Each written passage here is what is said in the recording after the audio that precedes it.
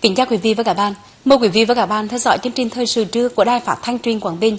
Hôm nay thứ sáu, ngày mùng 3 tháng 8 năm 2018 có những nội dung chính như sau. Hội nghị trực tuyến về tình hình triển khai thực hiện chỉ thị 45 của Thủ tướng Chính phủ. Ủy ban nhân dân tỉnh làm việc với các ngành địa phương về vấn đề thu gom vận chuyển rác thải. Nâng chế độ cho các vận động viên, huấn luyện viên thể thao thành tích cao hàng nghìn hộ dân thiếu nước sạch sinh hoạt. Thưa quý vị và các bạn, sáng nay ngày 3 tháng 8, Chính phủ tổ chức hội nghị trực tuyến với 28 tỉnh thành trong cả nước về thực hiện chỉ thị số 45 ngày 13 tháng 12 năm 2017 của Thủ tướng Chính phủ về một số nhiệm vụ và giải pháp cấp bách để khắc phục cảnh báo của Ủy ban châu Âu về chống khai thác bất hợp pháp, không báo cáo và không theo quy định. Đồng chí Trình Đinh Dũng, Ủy viên Trung ương Đảng, Phó Thủ tướng Chính phủ, đồng chí Nguyễn Xuân Cương, Ủy viên Trung Đảng, Bộ trưởng Bộ Nông nghiệp và Phát triển nông thôn chủ trì hội nghị.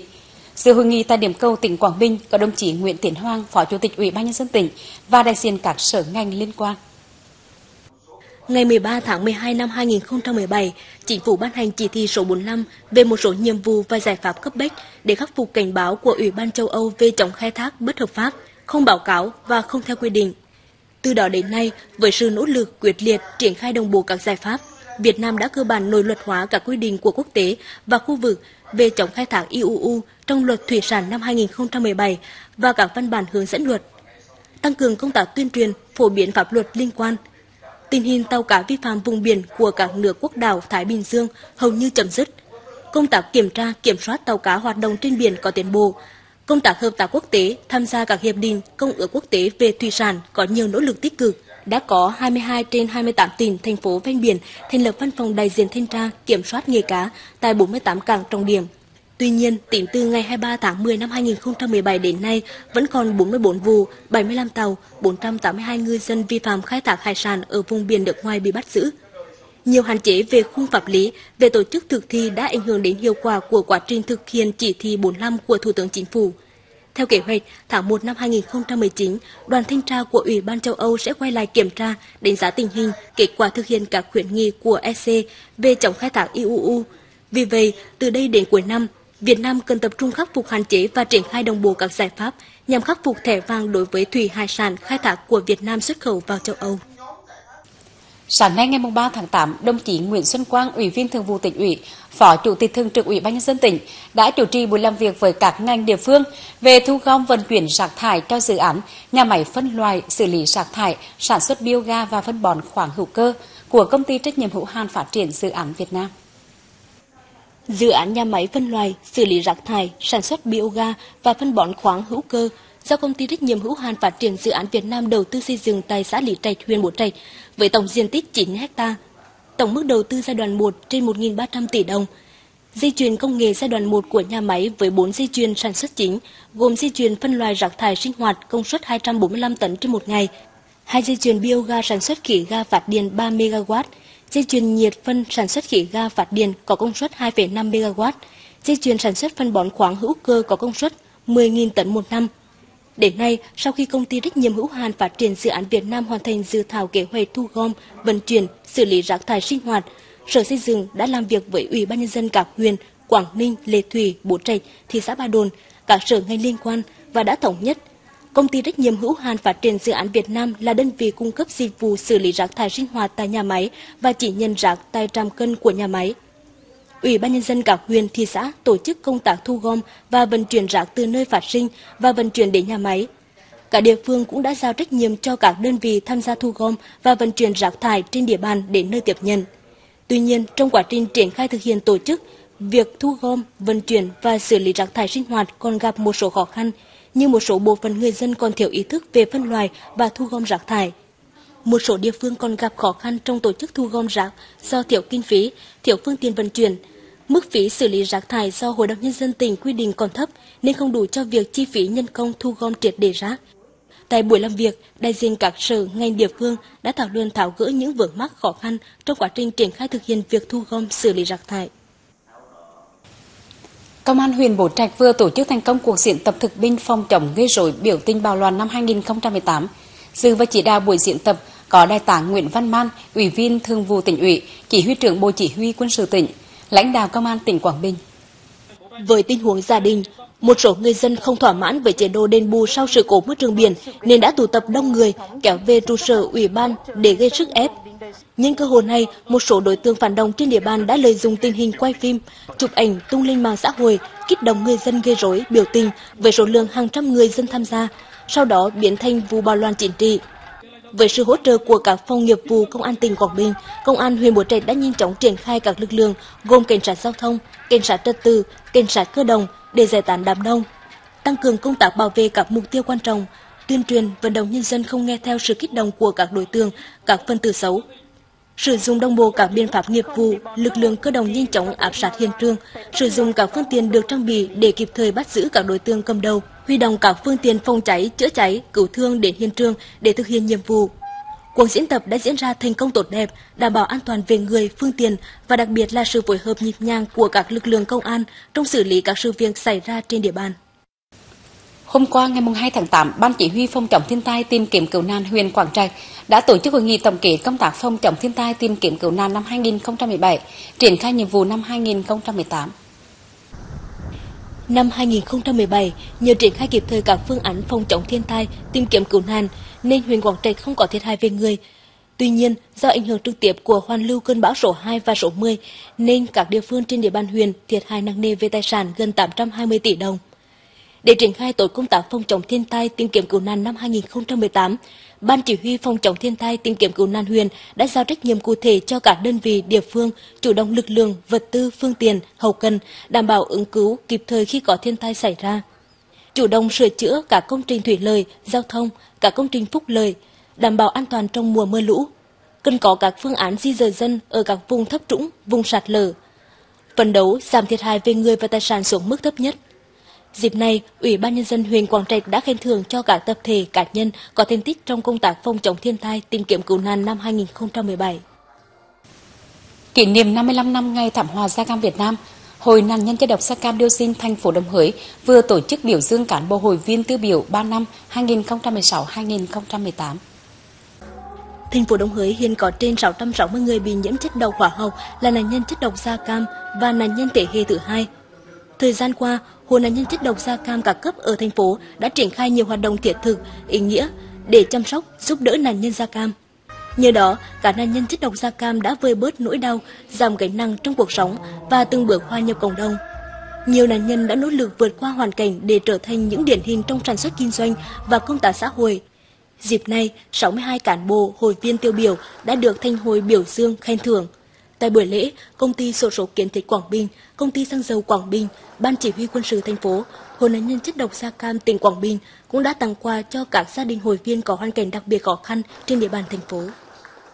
Chương trình thời sự trưa nay sẽ được tiếp nối với một số thông tin đáng quan tâm khác.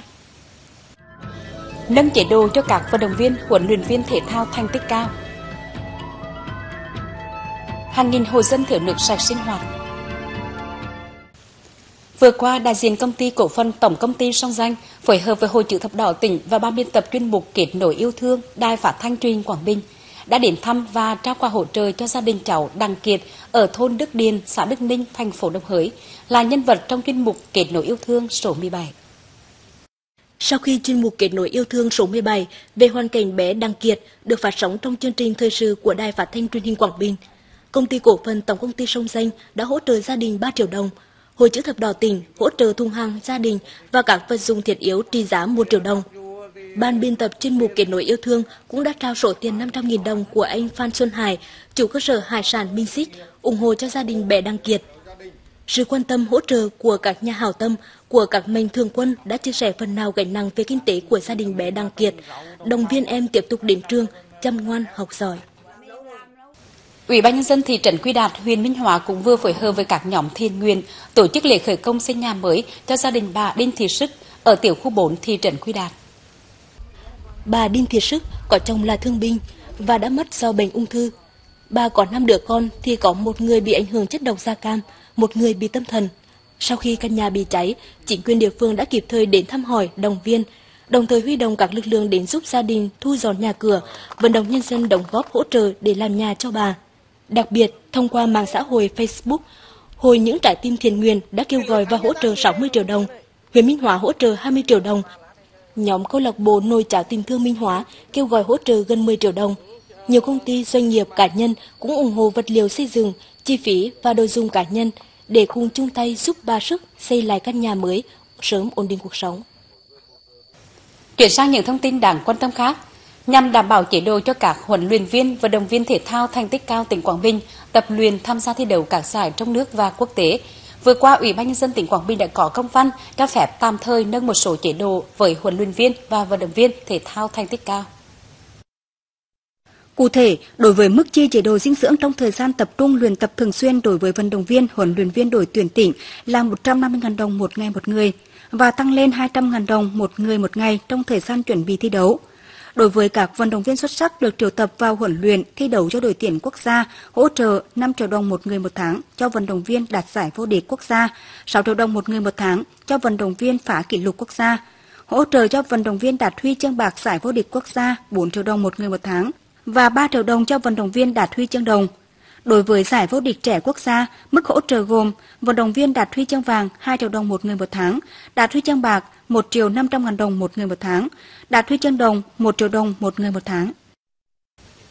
Với mục tiêu giúp đỡ phụ nữ nghèo, phụ nữ có thu nhập thấp phát triển kinh tế gia đình, những năm qua, Quỹ hỗ trợ phụ nữ phát triển tỉnh đã tổ chức cho các hội viên tiếp cận nguồn vốn vay ưu đãi để đầu tư sản xuất.